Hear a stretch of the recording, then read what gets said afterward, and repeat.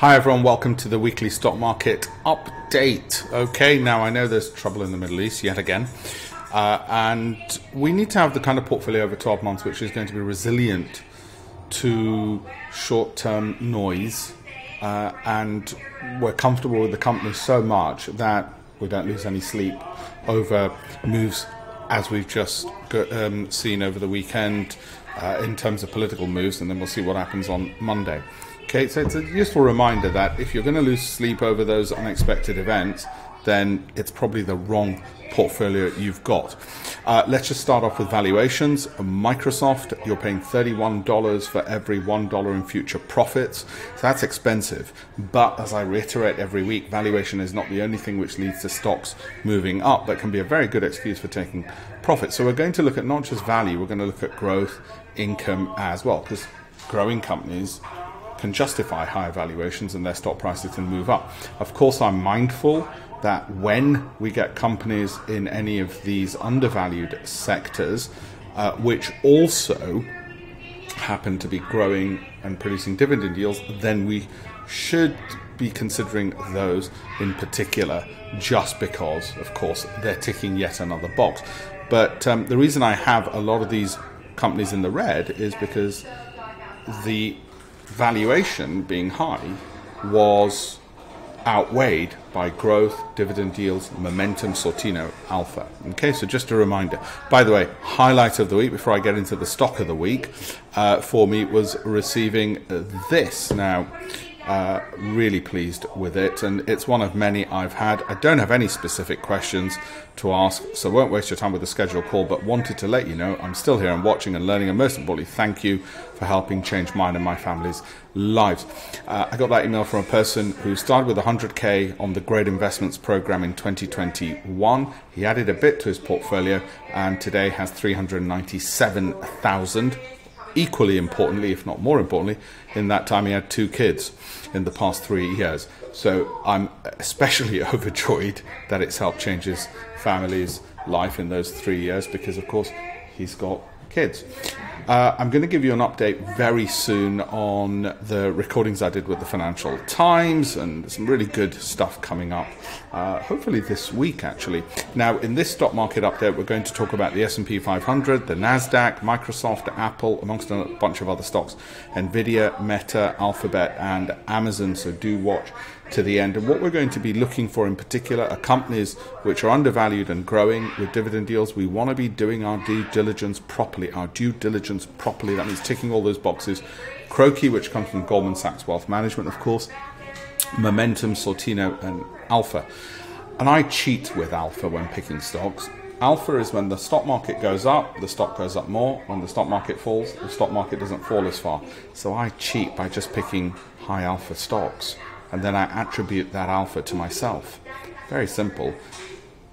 The past isn't a guarantee of the future, but it's a pretty good guide. So you'll notice in that I didn't mention profit and loss accounts, news, narratives, earnings reports, uh, balance sheets, cash flow statements, because in that part of it, none of those are relevant. Okay? Similarly with Sortino coming from the hedge fund industry as I do, that's an important ratio for us. Uh, but those all, are all the bits I'm going to include. Now, a piece of data which has caught my eye, and I'm repeating it again uh, over here, is this: the S&P returns after five straight up months and a 20% gain, which is where we are now. On average, over the subsequent 12 months, you're up about 14%. That gives us a good tailwind, so that our stocks should be doing well. If you're up 14%, we should be looking at at least 25 to 40% for our portfolios, depending on how widespread that tailwind is and assuming a repetition. Now, the past doesn't guarantee the future, but it's a pretty good guide.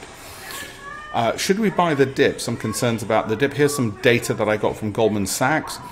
Uh, past S&P 500 corrections have typically been buying opportunities. This is as of January 27, 2022.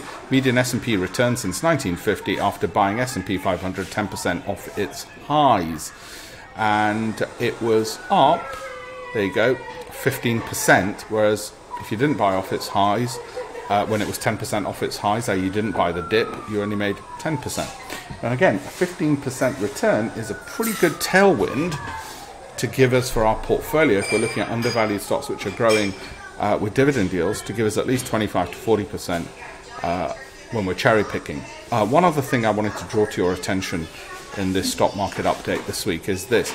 This is from a typical fund, which uh, a client of mine had sent me several uh, months ago. Just watch out how much you're paying your fund manager. Okay, just be very careful. They'll they'll say invest ten thousand pounds, hold for five years. They'll want you to hold for five years. They're going to charge you a thousand pounds on that. Okay, that's ten percent of your money just gone in fees over five years, which is why so many people only average about four percent uh, on their funds, and I don't like fund managers. Market corrections since World War II were not at corrections, but obviously there's talk about it, there's concerns. 26 corrections have averaged a decline of 13.7% over four months and have taken four months to recover. Sort of explains why, and this is also from Goldman Sachs, explains why I'm a little bit relaxed about any downward moves in the market. So, how's the past week been? Well, we've had a lot of green, of course, despite Middle East concerns and higher oil prices anticipated over there, but it's actually been a mixed bag. So, we really need to drill down into individual stocks uh, to get better understanding. Uh, ETFs, energy doing rather well, so is gold and commodities. I will do a broadcast on those uh, relatively soon crypto has taken a bit of a battering at the moment. That might change, of course. This is only looking at exchange traded funds over the past month. The country specific ones, uh, from Vietnam to China to Europe, nothing gone up uh, in the past month.